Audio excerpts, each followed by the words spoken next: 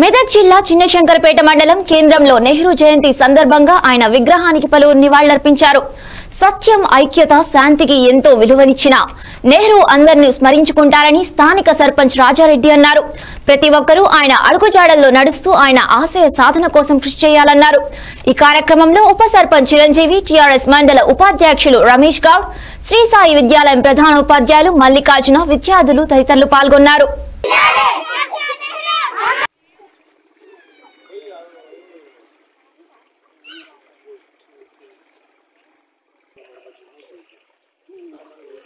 నెహ్రూ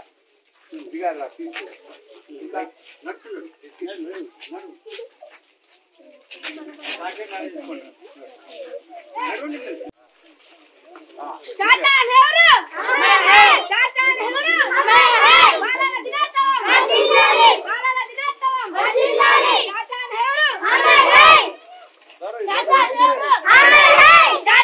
భారత మొట్టమొదటి ప్రధాని పండిత్ జవహర్లాల్ నెహ్రూ గారి జయంతి ప్రచురించుకొని మరి నూట ముప్పై రెండవ జయంతి ప్రచురించుకొని మరి నేటి బాలలే రేప రేపటి పౌరులని అనే ఆశయానికి మరి తప్పకుండా ఆయన జయంతి ఈ పద్నాలుగు నాడు నిర్వహించాలని మరి చెప్పడం జరిగింది.